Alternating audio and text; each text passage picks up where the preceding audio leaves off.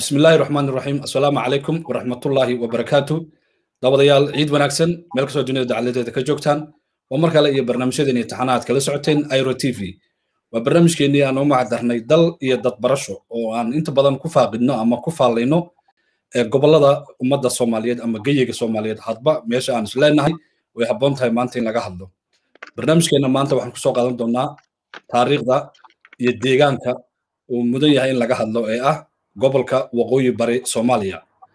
Barnaamijyadeenan waa kuwaan ugu talagalnay bulshada soomaaliyeed inay ku bartaan taariikhdooda iyo deegaanadooda iyo dadka soomaaliyeed iyo halka ay degan yihiin gaar ahaan da'yarta inta badan ku dhalatay waddamada qurbaha.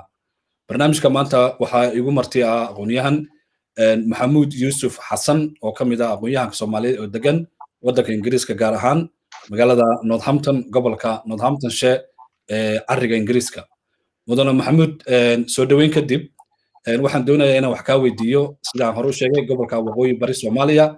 Ku soo dhowow qodobka koowaad oo ah bal taariikhda gobolka iyo waayuhu soo maray wax inooga sheeg. Soo dhowow.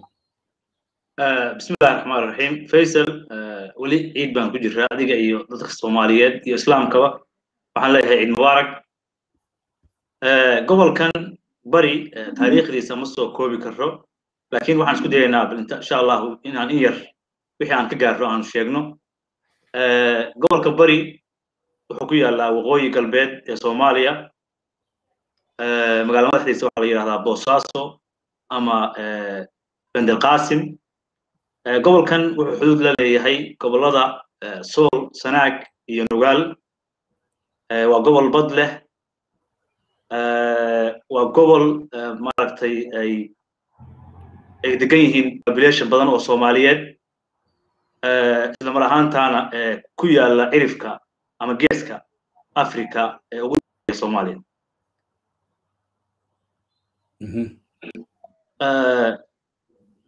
Gobolkan waxyaabaha maaragtay caanka ku yahay waxaa ka mida wuxuu leeyahay laba badood badda hindiya iyo badda ridsi oo ama badda cas iyo badda hindiya gobolkan wuxuu soo maray taariikh fog.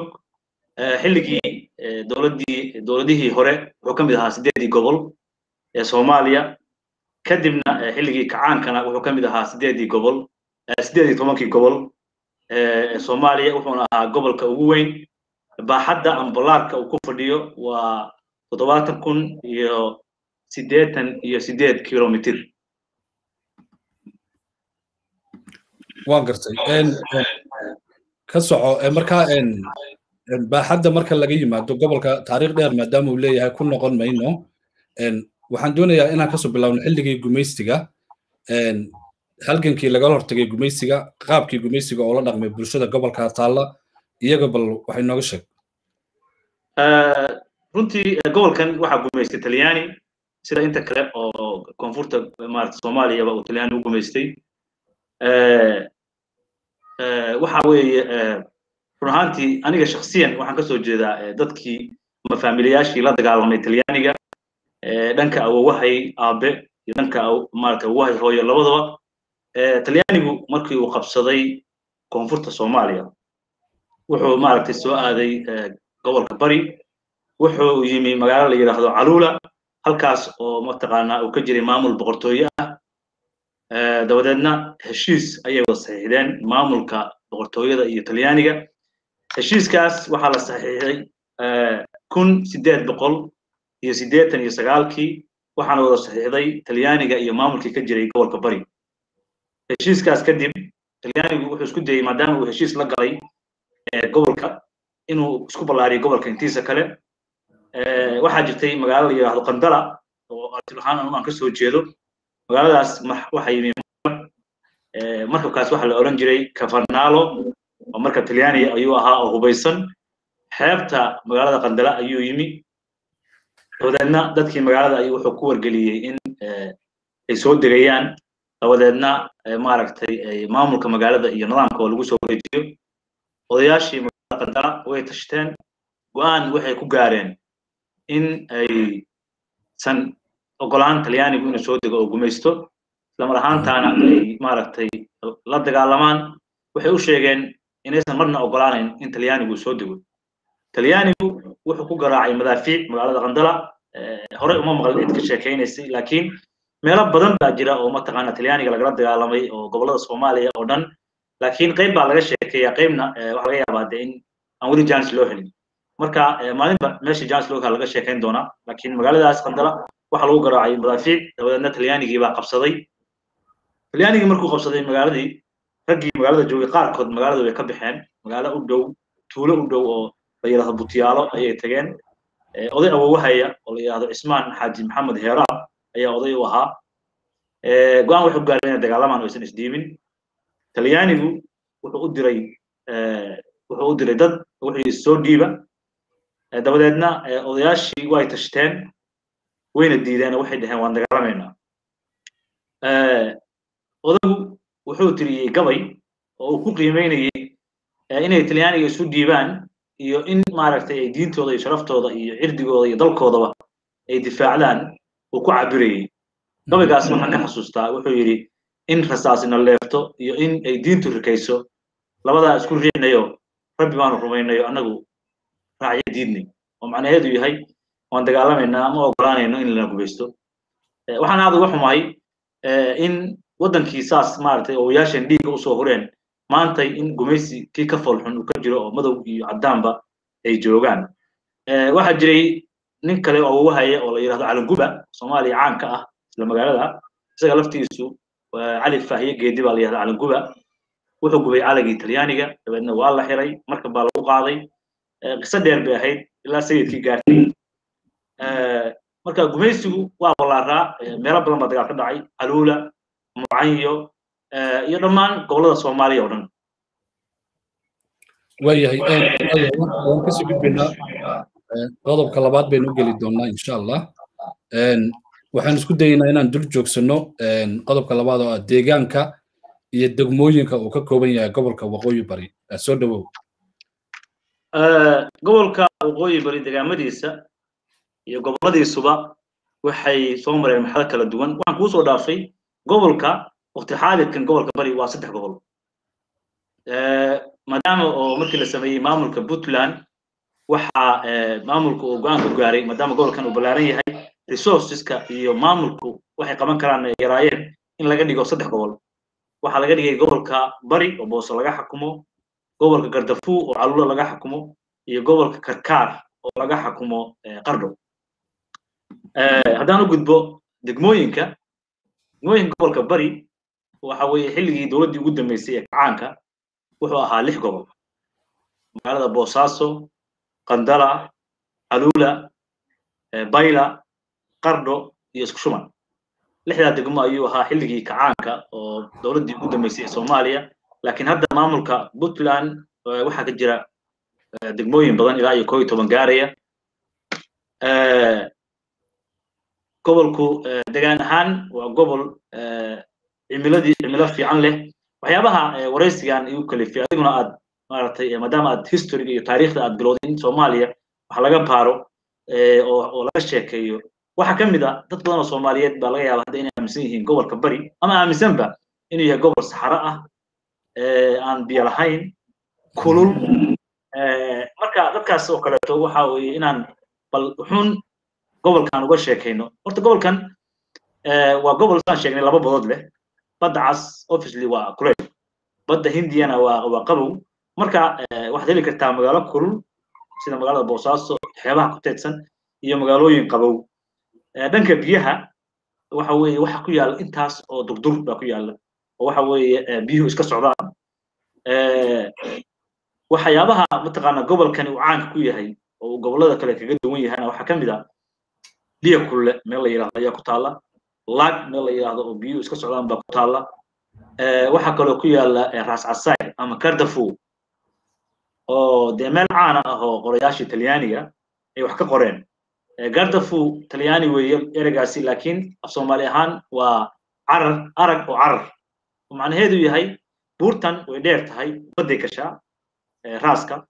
Kor ahaanna waa laba boqol iyo afartan iyo afar kilomitr marka xilliyadii doonyaha shiraaca ay jireen ayaa waxaa ku dhici jiray maraakiibta. Maraakiib badan baa ku dhacday ilaa hadda yaalla. Marka saas ayaa talyaanigu wuxuu u yaqaanay gardafu laakiin innagu waxay dhahnaa raas casayr. Waxaa ku yaalla raasas kale oo raas la yidhaahdo raas fiil ama raas timroodiga oo isaguna aan ka fogeyn. Marka waxaa ku yaalla buuraha calmiskeed iyo buurahan maaragtay silada golis. Marka gobolku waa gobol dhan kasta baddii berigii iyo biyihii iyo buurihii iyo mataqaanaa dhan kastaba laga heli karo marka waxaa kaloo jira gobolku inuu mataqaanaa xiriir la leeyahay dhanka badda maaragtay xuduudka la leeyahay sida yemen iyo cumaan iyo jasiirada oo suqadara marka waa gobol dhan kasta mataqaanaa wax walba laga heli karo waya waxaan ku jirnaa qodobkii labaad waxaan ka cudur daaranaynaa xogayro eco aa jiro raalli ka noqda waxaa jiro dad saad sheegtay yemen iyo cumaan iyo wadamo badan oo ayuu u furan yahay sida india iyo bakistan iyo maldives. Waxaa la sheegaa inay jiraan dadyow gobolka inuu ka mid yahay gobollada dadka dhaqan isku dhaqanka ama multicultureka dadyow carab iyo eshiyan iyo bershiyan iyo in intaaba laga helo oo qaarkood ay ku milmeen deegaanka ayaa la sheegaa arrintaasi maxaa ka jira? Runtii burburkii ka hor sagaashankii horreeyey iyo sagaashankii waxa ka dambeeyey gobolka bari laba taariikhood ayuu kala leeyahay. Sagaashankii wixii ka horreeyey gobollada soomaaliya ayuu la mid ahaa maadaama uu xeeb ku yaallo waxaa jiray dad badan oo mataqaanaa ka hayaamay ama si gumaysi ha ku yimaadeen sidii qolyihii cumaaniyiinta ahayd oo sayid bakhash oo kaleeto xeebaha mataqaanaa wax ka iibsan jiray oo dabeedna dad ay ku hari jireen dad hindi iraniin masaari dadkaas oo dhan ayaa mataqaanaa magaalooyinka xeebaha ku taadsan mataqaanaa soo degi jiray. Magaalada gobolka barina waxa weeye dadka noocaasa aad ugu badnaa. Markii dambena dad soomaaliya ayay noqdeen oo dadkay dhex galeen. Marka waa run way jirtaa waa gobol multiculturala aan mataqaanaa dadka la kala soocin. Taasna waxaa caddayn u ah markii dagaalkiisu kala dhacay. Gobolkan bari waxaa ku soo qaxay soomaalidii oo dhan meel joogtay. Marka waa la weyey waa gobol multiculturala oo dadku ay wada degan yihiin population ahaanna wuxuu ku jiraa gobollada ugu dadka badan. Soomaaliya waxaa lagu qiyaasaa kun iyo one million hal milyan iyo shan boqol ilaa hal milyan todoba boqol oo kun inay degan yihiin. Oo waxa weeye ka kooban dadka soomaaliyeed oo dhan. Marka waa sax waa gobol multicultural. Waxaa jira jaaliyado gobolkan u dhashay oo asal ahaan ka soo jeeda gobolka bari laakiin degan tusaale ahaan cumaan. Waxaa jira dad gobolkan ka soo jeeda oo cumaaniyiina asalkoodiina reer bari ah oo cumaan degan oo maaragtay dhalashooyin qaar ka qaatay. Waxaa jira jaaliyado kale oo iyaguna yemen sidaas si leeg degan imaaraadka. Marka gobolkan iyo carabtu aad bay isugu xiraayeen ilaa xilliyadii cadan la aadi jiray oo qofaan cadan tegin reer bariya waxa weeye waagii hore aad buu u yaraa. Luqadana mataqaanaa carabigana waa lagu hadli jiray. Walow hadda ay wax badan isbedeleen. Marka waa gobol u furan gacankan carabta aadna ay isugu xiran yihiin. Okay arrimaha waxaynu ka hadli doonaa dhaqanka iyo waxyaabaha ku xeeran iyo dhir iyo deegaano gooni ah ayuu gobolku leeyahay sida inta badan taariikhda aan ku hayno bal arrimaha dhaqanka iyo qaabkay u shaqeeyaan soomaalidu waxay leedahay boqorro ugaasyo malaaqyo garaad islaan wabar islow marka gobolkan habdhaqameedkiisa iyo guurtidiisa dhaqameed qaabkay u shaqeeyaan iyo waxyaabaha ku xeeran taariikhiyan waxa ay soo martay bal nala wadaag waan u iman doonaa arrimaha kale bal habka dhaqanka bal bulshada soomaaliyeed u soo bandhig qaabka gobolkaasi uu bulshadiisa uu u agaasimo? Runtii dhaqanka gobolkan majeritania ama gobolkan bari dhaqanku waxyaabaha ugu muhiimsan ayuu ka yahay ilaa hadda. Dadka loo yaqaano gurtida ama isimada anagu isimo ayaan idhahnaa magacyada ugu badan ee laga isticmaalo gobolkan bari waa suldaan beldaje boqor magacyadaas ayaa ugu waaweyn ugaas. Marka waa dad mataqaanaa ku yimaada si dhaxaltooye ah oo inta badan aan la dooran. Matalan aabbaha hadduu suldaan ahaa ama uu beeldaajo ahaa ama boqor ahaa si waxa dhexlaya mar walba wiilkiisa ayuu qoyska unbaa isdhexlaya nidaam noocaas ayuu ku yimaadaa. Dadka gobolkuna waxa weye ixtiraam weyn ayay u hayaan shaqooyinka ay qabtaan waxaa ka mid a in dadka ay heshiisiiyaan in maaragtay haddii ay dad maaragtay istiriraan in laysu keeno in maaragtay dadka ay caawiyaan. Adigu waxaan dhihi karraa waa gobolkan bari. Awoodda ugu weyn awoodda ugu weyn ayay ka mid yihiin golaha dhaqanka ee gobolka bari. Dadkuna aad bay u ixtiraamaan. Waxaan is leeyahay waxyaabaha gobolkan bari marar badan nabad u ahaa waxaa saldhig u ah isimada. Yeelay gobolkan bari dagaal badan ma soo marin. Sagaashankii markii dowladdu dhacday maamul baa la sameeyey. Maamulkaas waa shaqaynayay ilaa iyo ninety eigtkii ninety eightkiina waxaa la sameeyey puntland oo waa shaqaynayey. Marka intaasoo dhan shaqada waxaa hayay isimada. Waxa weeye dadkuna way ixtiraamaan. Gobolka bari iyo guud ahaan puntlandba okay waxaa la sheegaa inta badan aan aragnaa guud ahaan deegaanada puntland dhaqanku inuu yahay wax aad muhiim u ah saad sheegtay halka inta badan soomaalida deegaanadooda ay dhaqanka iyo siyaasadda isku milmeen laakiin gobollada guud ahaan inta badan puntland waxaa la yidhaahdaa waa gobollo la kala saafay ama la kala saaray dhaqanka iyo siyaasadda arrintaasi yaa ka shaqeeyey wallahi niyahow soomaalidu waa kala dhaqan duwan tahay waxaana u malaynayaa gobollada waqooyi iyo goboladan puntland ayaa dhaqanku aad uga shaqeeya.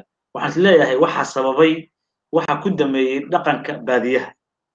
Haddii ay dadku ay wada magaalo tagaan waxaa laga yaabaa in koonfurta oo kaleeto waxa weeye qiimaha uu dhaqanku leeyahay xoogaa inuu ka hooseeyaa moodaa marka waxaan is leeyahay maadaama uu muddana soo jiray waxaa jiray boqortooyooyin ilaa dhowr boqol oo sano jiray. Waxaa jiray nidaamyo kala duwan oo kulligood ku dhaqan nidaamkan qabaa'iliga ah oo mataqaanaa ayaa jiray. Marka waxa awood leh qabiilka ayaa awood leh goboladan mataqaanaa soke maadaama qabiilku awood leeyahana wax haga ayuu u baahan yahay marka mar walba isimadu waa mudnaanta koowaad ayay leeyihiin. Marka dowlad la dhisaayo ama wax la nabadaynayo waana arrin fiican oo hadde waa lagu badbaaday waxa weeye mar kasta ayaa lagu badbaaday. Qisaan kaaga sheekeynaya nin xamar baa nin ka soo qaxay. Markaasaa wuxuu yimi meel gar lagu qayminayo oo de garta aad baa looga dambeeya meelahan mataqaana puntland iyo somaliland iyo marka garta macnaheedu waxa waa maxkamad. Haddii gar lagu keeno macnaheedu waa adiga waa maxkamadaas haddii lagu xukumo waa inaad qaadataa marka odayaalkuna dee nimankaas macawistaas ka sito shaatiyadaas taa yimi waxaa la yidhi ninkan walaalkiisa wax lagu dhifto waa la dakray marka isaga reer xamar bu ahaa wuxuu yidhi odayaashan maxay qabanayaan waxaa la yidhi odayaashani waa waxa meeshan iyaga u sarreeya. Waxay yidhaahdaan waan qaadanaynaa dabadeedna odayaasha gartii bay galeen hawshoodii bay qabsadeen waa la kala xakumay nin walba wuxuu lahaa waa loo xakumay ninkii isagu ahaa wuu yaabay oo dee meeshana maxkamadna maaha sidee nimankaan aniga inta lacag iyo xukumaan ama mag iyo xukumaan waxayga laysiinay alxaasil manaha fahamka ayaa kala duwan laakiin goboladan wuxuu ka yihiin waxay xukumaan lagama daba hadlo. Walaa dowlad baan ka daba hadli karin walaa cid kale aan ka daba hadli karin. Waa hagaag. Barnaamijkeenna arrimaha ganacsiga iyo dhaqaalaha iyo waxyaabaha gobolkan laga dhoofiyo ayaan kaga hadli doonaa. Ganacsiga ugu muhiimsan ee gobolka bari inkastoo gobollo badan oo xeeb xeebyaalka ay isku mid yihiin gobolkani ganacsiga ugu muhiimsan lafdhabarta u ah iyo waxyaabaha uu dhoofiyo oo dalaga ama waxa dhulka laga helay dhirta dabiiciga ah maxay yihiin? Gobolkan waxyaabaha ugu waaweyn ee ganacsiga ah waxaa ugu horreeya kalluunka maydiga oo ama foox baa la yidhaahdaa dabeed wuxuu kala baxaa maydi iyo beeyo. Waa geed urbania oo aan cidna beerin oo waxa weeye buuraha ka baxa wax badanna laga faa'iido oo weliba ka mida maaragtay dakhliga dakhliyada ugu waaweyn ee soo gala maamulka puntland waxa kale oo laga maaragtay laga ganacsadaa xoolaha nool waxa kale oo laga ganacsadaa iyo dadka oo mataqaana export import sameeya. Afartaa waxyaabood ayaa ugu waaweyn ganacsiga ka jira gobolka bari. Dadka gobolka bari waa saan hore u sheegnay dad ganacsato ah oo ilbax ah oo waxa weeye muddo badan maaragtay ganacsiga waday. Waxayna mataqaanaa lagu tilmaamaa dadka soomaalida ah saddex waa saddex qaybood. Qayb kalluumaysato ah oo xeebaha degan oo iska ilbaxa oo ganacsato ah iyo qayb reer baadiye ah iyo qayb beeraley ah. Marka dadkan ganacsigooda ugu weyni waa saddexdaas. Waa kalluunka iyo maydiga iyo export iyo import. Macnaha wax la dhoofiyo wax la soo dejiyo. Meesha rababa ha laga keena xooluhuba ha ugu badnaadeen. Oo waxaan is leeyahay xoolaha ugu badan ayaa laga dhoofiyaa magaalada tan boosaaso oo waxa weeye waa waxa weeye waa tiir muhima iyaduna. Marka waxay ku saab macnaha wax saddexda qodob baa ugu weyn. Okay mudane maxamed gabagabadii barnaamijka miyay jirtaa wax gobolkan u gaar ah oo ay gobollada kale oo dhan kaga duwan yihiin? Wallaahi way jirtaa. Inkastaan hore u soo sheegnay gobolkan hore u sheegnay oo waxa weeye waa gobol keliya oo soomaaliya laba badood leh ritsi and indian ocean. Waxa kale uu leeyahay gobolkani wuxuu leeyahay biyo kulule oo ah meel dadku intay yimaadaan maaragtay ay u soo dalxiis tagaan waxa uu kaloo leeyahay gobolkani meelo maaragtay lagu dabaasho. Cimilada oo kaleeto gobolkani saan hore u sheegnay waa gobol cimiladiisu ay kala duwan tahay. Marka waxyaaba badan buu kala mid yahay gobollada soomaaliya laakiin waxa u khaasa meesha uu ku yaallo waa meel istiraatiiji ah. Waxa weeye meeshii ay ku dhammaato soomaaliya oo mataqaanaa badda hindian oceanka oo geeska africa ah. Marka muhiimad weyn ayuu u leeyahay dadka soomaaliyeed iyo dowladda soomaaliyeedba.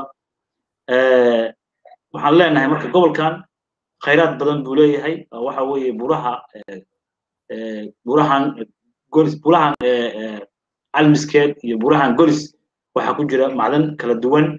Marka gobolka wakti baan insha allah u soo diyaarinaynaa research badanna waan samaynaynaa laakiin waa gobol ay ku kulmeen khayraadka badda beriga iyo macdantii iyo dahabkii iyo cimilada oo kala duwan oo haddii aad kule aad ku dhibtootid aadi kartid meel qabow marka insha allah wakti kale ayaan wakti badan gelin doonaa.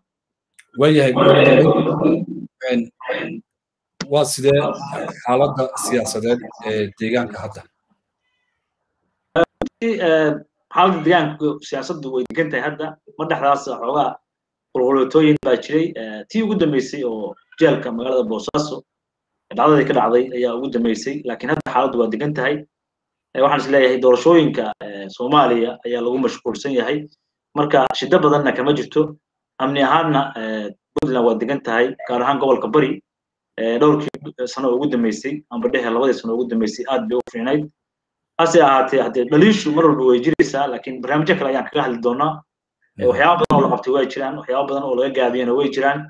Laakiin fursad kale ayaan la sugaynaa insha allah aad iyo aad baan u mahadsantainta ayaan ku soo afmeeraynaa barnaamijkeenii dal iyo dadbarasho oo maantaan kaga hadlaynay gobolka waqooyi bari ee soomaaliya ama puntland. Martina uu nagu ahaa mudane maxamuud yuusuf xasan oo degan magaalada northampton cariga ingiriiska. Barnaamijyada noocaana waa kuwaana ugu talagalnay in dalka iyo dadka soomaaliyeed ay isku bartaan deegaanadooda.